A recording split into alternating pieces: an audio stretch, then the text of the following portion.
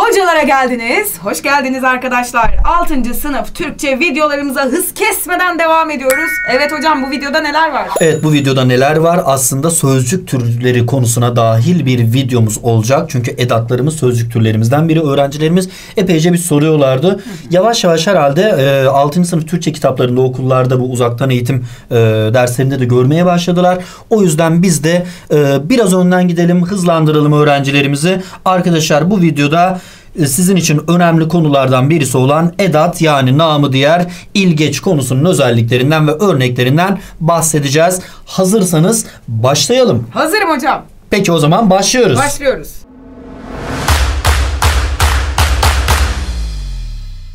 Evet arkadaşlar edat nedir öğretmenim edat ne demek ilgeç ne demek niye ilge neyle ilgi kuruyor ki ilgeç diyor bir, bir sürü soru akla geliyor değil mi? Arkadaşlar edatlar tek başlarına herhangi bir anlamı olmayan kelimelerdir. Genellikle kendilerinden önce gelen ifadelerle ya da sözcüklerle ilgi kurarak cümle içerisinde bir anlam kazanırlar. Yani edatın tek başına herhangi bir anlamı yok.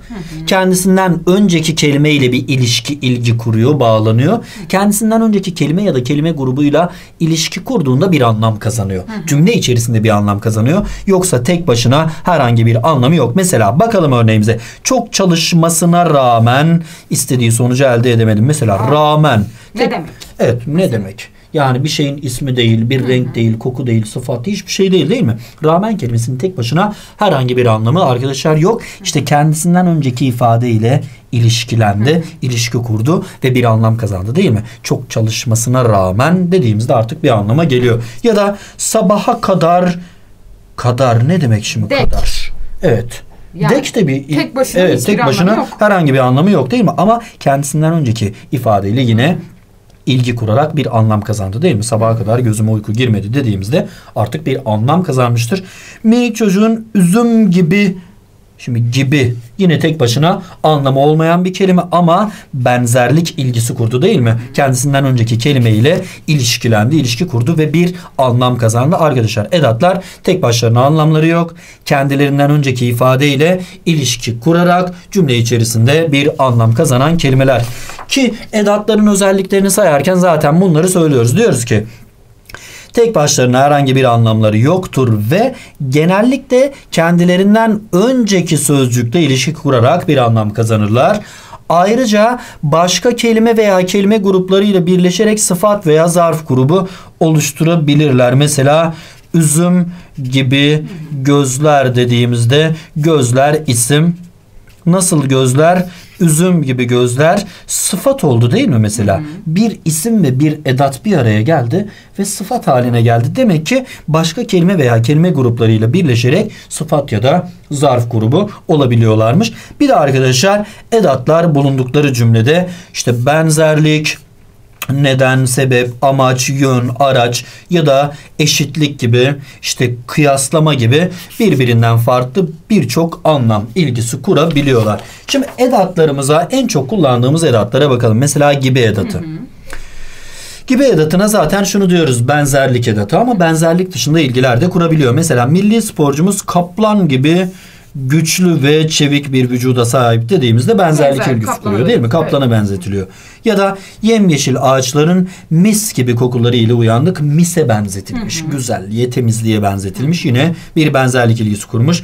Haberi aldığım gibi yola çıktım Aldığım dediğimizde anda alır almaz aldığım anda yani burada çabukluk, tezlik, hızlılık ilgisi kurmuş.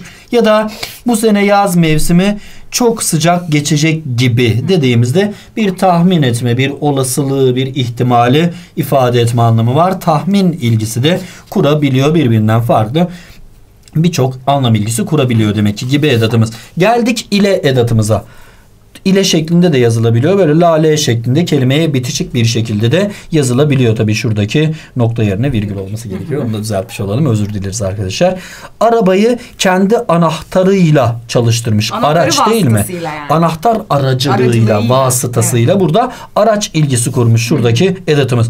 Ankara'ya kendi özel aracımızla gideceğiz dediğimizde yine araç ilgisi kurmuş. Tatili ailemle geçirmeyi düşünüyorum Ailemle dediğimde birlikte. evet araç ilgisi değil değil mi? Ailem aracılığıyla değil, ailemle birlikte tabii ki birliktelik ilgisi kurmuş ya da suların çekilmesi ile toprak çatlamaya başladı. Yani çekilmesi sebebiyle, Sebebiyle. aslında burada bir neden sebep ilgisi kurmuş. Bir de tavsiye ettiğin filmi büyük bir keyif ile, büyük Keyif bir keyifle, keyif içerisinde değil mi? Keyifli bir durumda e, seyrettim. Demek ki durum ilgisi de kurabiliyormuş. Geldik arkadaşlar burada önemli bir notumuz var. Bu zaman zaman sorularda da karşımıza çıkabiliyor. İle sözcüğü Evet edattır tamam. Edat dedik ama bazı cümlelerde bağlaç da olabiliyor. Öğretmenim nasıl anlayacağız? Cümle içerisinde kullanılan ile sözcüğünün yerine ve getirile, getirilebiliyorsa bağlaçtır. Ama ve sözcüğünü ilenin yerine getiremiyorsak o edattır. Buna dikkat edelim arkadaşlar ki burada örneklerimiz var zaten. Okula bisiklet ile gittim dedik. Buraya ve ve gittim. getiremiyoruz Olmuyor. değil mi? Bisiklet ve gittim diyemiyoruz. Ve getiremediğim için buradaki ile sözcüğü edattır. Devam edelim. Ali ile Ahmet bugün gelmediler. Buraya ve getirebiliyorum. Ahmet. Ali ve. Ahmet değil mi? Gayet şık bir şekilde oturuyor. Ve sözcüğünü getirebildiğim için buradaki ile bağlaştır. Ya da bu konuyu babamla görüşmem lazım. Babam ve görüşmem lazım diyemiyorum. Çünkü bu bir edat. Ama babamla kardeşim bize yemek hazırlamış. Babam ve Babam kardeşim. ve kardeşim ve kelimesini buraya getirebildiğim için buradaki ile kelimesi bağlaçtır. Buna dikkat edin arkadaşlar. Ve kelimesini getirebiliyorsan bağlaç ama getiremiyorsan edat olarak kullanılmıştır. Geldik için edatına hocam. Ailemle vakit geçirebilmek için işlere ara verdim. Getirebilmek amacıyla. amacıyla harikasınız ki zaten neden sonuç amaç sonuç cümlelerinde öğrencilerimiz bunu gördüler, e, bunu biliyorlar, izlediler. Son günlerde uykusuz kaldığı için sağlığı bozuldu. Kaldığından dolayı. Evet kaldığından dolayı değil mi? Dığı için, di için şeklinde kullanıldığında zaten için edatı neden ya da sebep anlamı kurmuştur. Bazen süre ilgisi de kurabilir. Mesela kısa bir süre için aslında kısa bir süreliğine Liğine. zaman süre anlamı süre ilgisi kurabiliyor.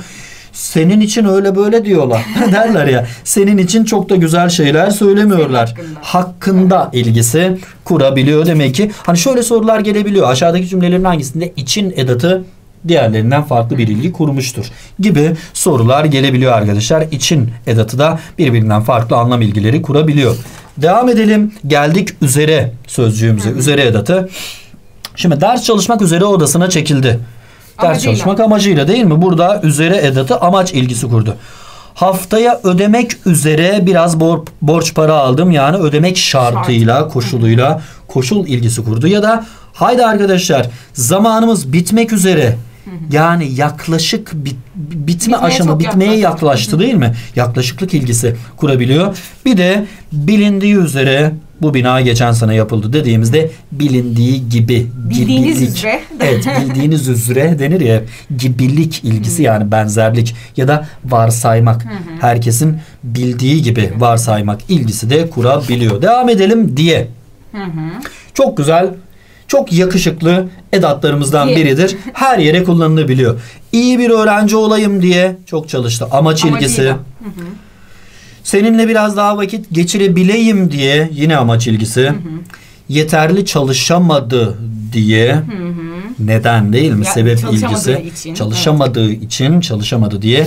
Hava güzel değil diye pikniği iptal ettik. Yine neden, sebep ilgisi. Yani amaç ilgisi de kurabiliyor. Sebep ilgisi de kurabiliyor arkadaşlar diye edatı. Devam edelim kadar. Ben de senin kadar üzüldüm bu duruma dediğimizde eşitlik anlamı var değil mi? Yani benim üzüntüm de seninkine Seninle eşit. eşit, eşdeğer demek istiyor. Eşitlik ilgisi kurmuş. Çiçek kadar güzel bir kokusu vardı. gibi güzel. Evet çiçek gibi güzel çiçeğe benziyormuş değil mi? Benzerlik ilgisi kurdu. Burada iki tane kadar edatımız var. Bugüne kadar tabii biz şuna bakalım daha çok. Bugüne kadar 1500 kadar kitap okudum. Buradaki ilk kadar dek ama Evet. Bu an- zaman ilgisi kuruyor. Bugüne dek. Şimdiye dek değil mi? Zaman ilgisi kurmuş. Ama şuradaki 1500 kadar Yaklaşık dediğinde 1500. yaklaşık 1500 demek istiyor. çok iyi bir sayı, Yaklaşıklık 1500. evet. Evet. 1500 Gerçekten kitap. gayet iyi bir sayı değil mi? 1500 kitap yani harika bir şey gerçekten. 1500 kadar dediğinde yaklaşık 1500 demek istiyor. Yaklaşıklık ilgisi kurmuş oluyor. Devam edelim arkadaşlar. Yalnız ancak. Beni yalnız sen anlarsın. Beni bir yani sadece anlarsın. bir tek değil mi? Buradaki yalnız sadece bir tek, biriciklik, bir teklik, sadecelik ilgisi kurduğu için bir e, edat olarak kullanılmış bir kelimemiz yalnız. Bu sene bizim sınıfta sınavı kazanan yalnız sen ve ben varız. Yalnız Yine sadece. sadece bir tek anlamında kullanılmış edatımız. Bu konuyu ancak sen anlatabilirsin. Yine Yine, yalnızca şekilde. sadece bir tek.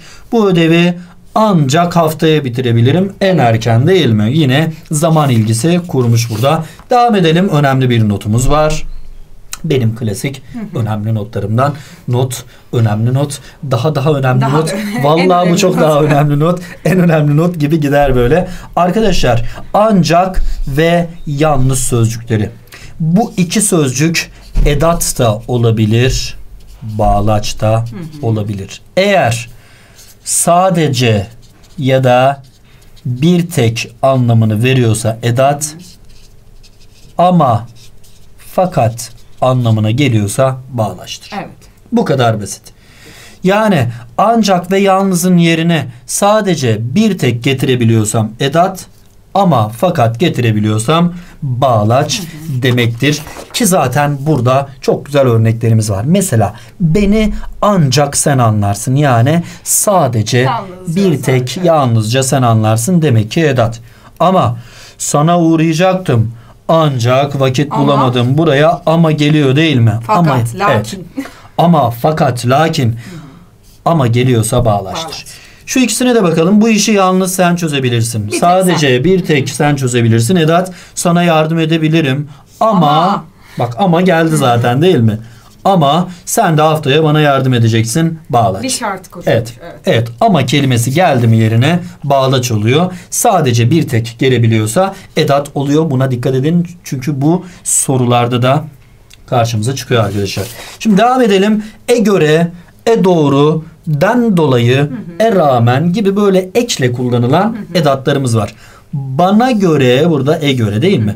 Bence. Bana göre evet. Bana göre bu ev bizim için fazla küçük. Bence bana göre benim, Benim görüşüm değil mi? Bana görelik, görelik ve görüş ilgisi kuruyor. Kimseden yardım görmemesinden dolayı Görmediği için. Evet neden anlamı değil mi? Sebep Evet. ilgisi kuruyor. Görmemesinden dolayı çok üzgün. Sahile doğru yönelme. Evet, Yönelme değil mi? zaten, yönelmiş sahile doğru yürümüş yani değil mi? Kötü hava a rağmen buraya tabii bir de y kaynaştırma gelmiş. Kaynaştırma. Kötü havaya rağmen dışarıda pek çok insan var zıtlık ilgisi kuruyor. Yani hava çok kötü ama Aa, insanlar dışarıda. Ya da hava çok güzel ama, Ama kimse çıkmıyor içeride. değil. Çünkü yasaklar var. Evet burada bir zıtlık karşıtlık var. Böyle zıtlık ilgisi de kurabiliyor diyoruz ve arkadaşlar edatlar konusunu burada sonlandırıyoruz.